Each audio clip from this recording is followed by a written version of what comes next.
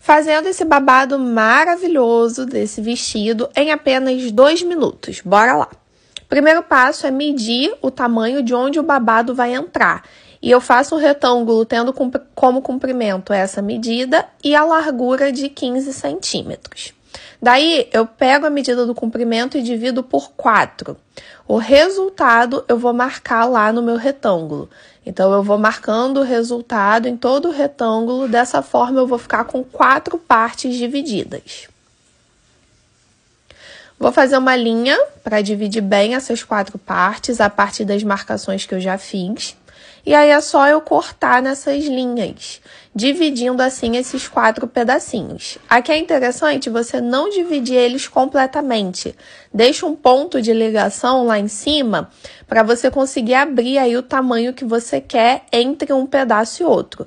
Nesse caso, eu estou abrindo entre os pedaços 5 centímetros, mas é opcional, você pode abrir o quanto você quiser. Abrir todos os pedaços, daí você vai colar um papel embaixo das aberturas e o molde do seu babado já vai estar pronto. Esse babado vai ser encaixado na barra do vestido, mas pode encaixar em barra de manga, blusa, onde você quiser. Se você gostou desse vídeo, curte e salva para receber mais vídeos como esse.